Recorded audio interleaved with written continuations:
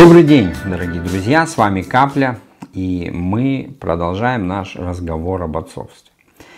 Сегодня я хотел бы начать достаточно такой огромный и, на мой взгляд, необъятный блок о ответственности отца. И мы не будем, наверное, говорить э, обо всем спектре. Я хотел бы, чтобы мы с вами заострили внимание, сконцентрировались только на четырех исключительных ответственностях отца. То есть на том, что в жизнь любого ребенка может принести только отец. Те сферы, в которых мама никакая, даже самая лучшая, самая потрясающая мама не сможет это сделать. Что же это за сферы? Прежде всего, это утверждение морального авторитета и власти. Второе – это наделение идентичностью. Если вы помните знаменитое стихотворение Маяковского, вернее, я процитирую только кусочек, те, кто живет уже э, достаточно давно, с легкостью продолжат его.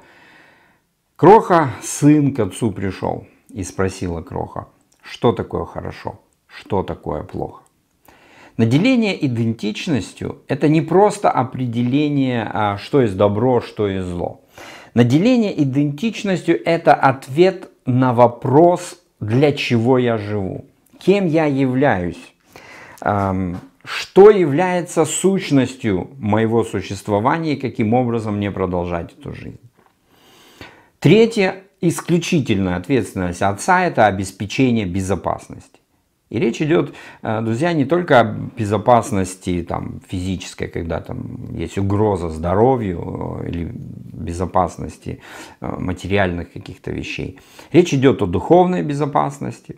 Речь идет об эмоциональной безопасности, чтобы наши дети чувствовали себя защищенными в этом смысле – а, отец должен быть таким, знаете, защитником, то есть человеком, который даже в самую большую бурю в семье всегда является таким непоколебимым островом э, спокойствия. И последнее – это утверждение потенциала. Знаменитая фраза, которая, наверное, может э, побудить каждого из нас сдвинуть горы, когда кто-то, обладающий невероятным авторитетом в нашей жизни, скажет, что ты это сможешь.